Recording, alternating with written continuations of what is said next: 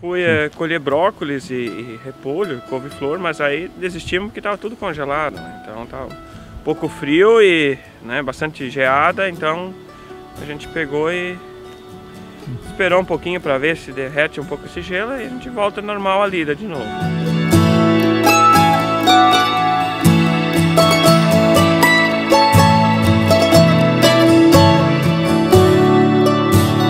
Prendeu-nos, né?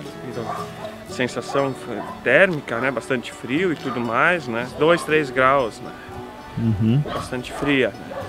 Vai causar grandes danos, né? Devido a não, não, não ser tão é, denso, né? Ele vai, ele vai retardar o crescimento, o desenvolvimento da planta, porém não vai, não vai dar grandes prejuízos, né? Devido a essa camada não ser tão espessa, ela não, não chega a causar danos, no caso. Né? Então, é, são coisas que a gente já está habituado né? Tem que gostar da, da coisa, né? E estar tá disposto a enfrentar esse, esse frio. Então, é, faz tudo parte da função da, da uhum. vida da gente, né?